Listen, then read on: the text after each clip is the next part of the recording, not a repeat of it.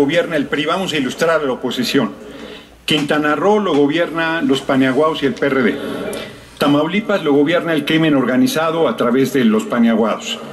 Hidalgo lo gobierna el PRI. Aguascalientes los Paniaguados, Durango los Paniaguados y el PRD. ¿Cómo podemos perder lo que no tenemos? Explíquenme ese misterio. Es que reconocen que vamos a ganar las seis gubernaturas y cualquiera que no ganemos dicen que la perdimos, pero no la teníamos. Pero además, sus cuentas alegres llegan a dos. Dicen que van a ganar Durango y que van a ganar Aguascalientes. No van a ganar ni una por traidores a la patria. Ni una van a ganar. Miren, qué desesperados andan que cabeza de huevo prófugo de la justicia lo desaforamos para que fuera enviado a prisión donde debe estar. Y le inventaron un fuero adicional y ahora trae órdenes de aprehensión contra dirigentes sociales, líderes sindicales, líderes campesinos, contra el alcalde de Victoria, contra la alcaldesa de Nuevo Laredo. Está desesperado. Pero va a acabar con García Luna, va a acabar con el comandante Iberdrola, alias Felipe el Sagrado Corazón de Jesús Calderón Nojosa, en la cárcel, que es donde deben estar. Les vamos a ganar seis de seis el próximo primer domingo de junio, porque están subestimando al pueblo. Piensan que el pueblo no está tomando nota, que no está escuchando los debates, que no ve su farsa. Miren cómo son de hipócritas. Si los médicos que vinieran fueran daneses, fueran suecos, fueran franceses, fueran estadounidenses, como dice la película, tendrían sus letreros bienvenido, welcome, vengan para acá. Pero como son cubanos, sí, ustedes van a Cuba a turismo sexual, ya lo comenté la otra vez, son hipócritas. Es lo único que conocen de Cuba, pero tienen uno de los mejores sistemas de salud del mundo. Les voy a demostrar la miopía de los paniaguados. Dicen que cerca de 150 mil va a ganar el personal sanitario de Cuba. Según ese criterio sesudo de los paniaguados, el Senado tiene 4.400. Diputado Atanasio, ¿con qué objeto? Gracias, señor presidente. Preguntarle a el orador, al diputado Gerardo Fernández Noroña, si es tan amable de aceptarme una pregunta. ¿Acepta la pregunta, diputado? Con mucho gusto. Formule la pregunta, diputado Atanasio. Con mucho gusto, señor presidente. Quisiera preguntarle qué piensa usted de que en el estado de Hidalgo la candidata de Va por México, Carolina Villano, pretende quitar la pensión bienestar para adultos mayores, ya que es un derecho que ha quedado establecido en la constitución política y uno de los programas prioritarios que entrega el gobierno federal y que tiene como principal objetivo contribuir al bienestar de la población adulta. ¿Es cuánto, señor diputado? Tiene dos minutos para contestar y concluyendo su tiempo, continuará el reloj de su intervención. Me, avisa cuando están terminados Se marca en, en, ese, en esa pantalla que tiene usted y suena una chicharra dos veces y ya luego se reanuda su reloj que está ya en el fondo. Perfecto, cuánta tecnología. Miren cuántas maromas hacen en Hidalgo, que tuvieron que atropellar al gobernador Omar Fayad, decidir género, meter a través de los paneaguados a una candidata priista, que un día dice una cosa y otro día dice otra porque efectivamente dijo que iba a quitar las pensiones para adultos mayores, que era un tiradero de dinero. Y ahora ya dice que va a haber pensiones para todo el pueblo de Hidalgo. Dice que les va a hacer el tren tolteca. Dice que les va a hacer casas de 5 millones de pesos a cada una. Que les va a llevar internet, que les va a llevar tabletas, que les va a llevar hospitales, caminos. Todo lo que no han hecho en más de 100 años los periodistas que han desgobernado Hidalgo y lo han saqueado, ahora dice que lo van a hacer. Afortunadamente no pueden quitar el apoyo que dices, compañero diputado, porque es un derecho constitucional. Tendrían que contar con dos tercios de la Cámara para poder quitarlo. Y yo calculo que tendrán dos tercios de la Cámara, el PRI, el PAN y el PRD, como para el año 5800, que ya sea otra la situación. No, ni siquiera para entonces, porque te auguro de una vez, el PRI va a desaparecer. Y el PRI va a tener que optar entre venirse al lado bueno de la historia, los que son del nacionalismo revolucionario, y los que son neoliberales irse con los paneaguados. El PRD va a desaparecer y van a tener lo que quede de izquierda venirse con el movimiento y los que no, los que están encabezados por Jesús Ortera, tendrán que irse con los paneaguados. Así es que solo habrá dos grandes bloques, el de los paneaguados no sé si Movimiento Paneaguado al final se va a sumar con ellos o no.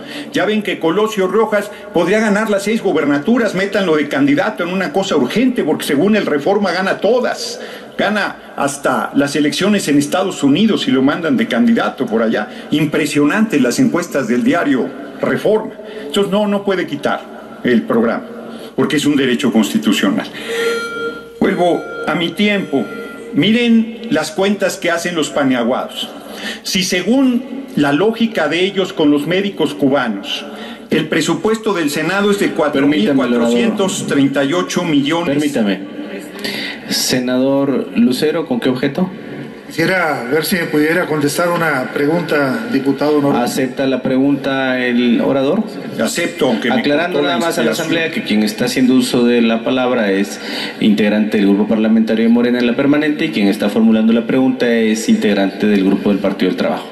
Adelante, puede formular la pregunta.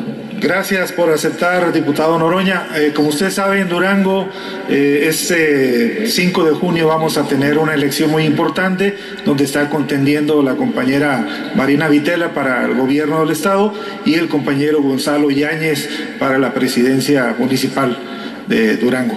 Eh, se ha venido dando una guerra sucia donde han quemado propaganda política y en días pasados eh, llegaron al extremo de utilizar medios de comunicación nacional como el Universal para, según el candidato del PRI, Esteban Villegas, exhibir supuestos actos de corrupción, pero no lo hicieron bien porque incluso usaron fechas falsas y usaron compañías eh, que no existían, ni siquiera estaban están dadas de alta como, como proveedores del gobierno. Preguntarte tu opinión acerca de la guerra sucia en la campaña política que se está llevando a cabo en Durango. Gracias por tu respuesta. Puede responder el orador. Estimado senador Lucero, creo que te quedas corto, que no es guerra sucia. Ahí sí es violencia política de género. Todos los machinrines del PRI, PAN, PRD están queriéndole cerrar el camino a una compañera extraordinaria, Marina Vitela, por ser mujer, porque sabe además que se los va a chupar la bruja si llega al gobierno del Estado, porque no va a convalidar sus corruptelas, sus raterías. Entonces, va a ser la próxima gobernadora. Y ni qué decir que Gonzalo Yáñez va a ser el próximo alcalde de Durango capital. Salomón Jara va a ser gobernador de Oaxaca. Nuestro compañero Villarreal, gobernador de Tamaulipas, para terror de cabeza de huevo. Nuestro compañero Menchaca va a ser gobernador de Hidalgo. Nuestra compañera Nora Rubalcaba, gobernadora de Aguascalientes, arda a la derecha hasta Aguascalientes, les vamos a ganar. Ya dije, y Marina, y este, nuestra compañera este, Mara Lezama va a ser gobernadora de Quintana Roo. Seis de seis nos vamos a llevar y va a seguir consolidándose el movimiento de la cuarta transformación. Así es que son actos de desesperación en Durango, de, de más allá, no es guerra sucia, es franca desesperación, son delitos electorales, son violencia de género, reitero, en el caso de Durango y en el caso de Tamaulipas es delincuencia organizada, del más alto nivel.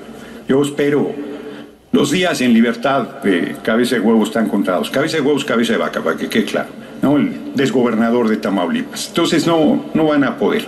No van a poder. Y entonces, bueno, truco se llama, perdón que me desvíe, pero es que no doy crédito que además le hagan truco, truco. Quieren llevar un truco a gobernar Tamaulipas. Es que hasta para los apodos este, son increíbles. O sea, exacto. ¿Cuál es el apodo allá en... Bueno, ya, no sé cuál es el apodo en Durango. Al tema que he querido desde hace rato desarrollar. Lógica, los senadores ganan 34 millones de pesos, porque si divides los 4.438 millones, poco más, entre los 128 senadores, pues ganan 34 millones de pesos. Es absurdo ese criterio, pero además son racistas y clasistas. Están atacando al personal sanitario cubano por pura rabia, por anticomunistas, por ignorantes, por desconocedores de la historia, por desconocedores del poderoso sistema sanitario que tienen, pero además hoy vienen a hacer la maroma de decir que los médicos y el personal sanitario no va a los lugares muy, más pobres porque son inseguros. Si así fuera, no habría médicos en Monterrey, sobre todo médicas, mujeres, si las desaparecen, no habría en el Estado de México, donde todavía tengo unos segundos. 3.48 segundos, es su tiempo. Ah. Sí, de todos modos concluyo.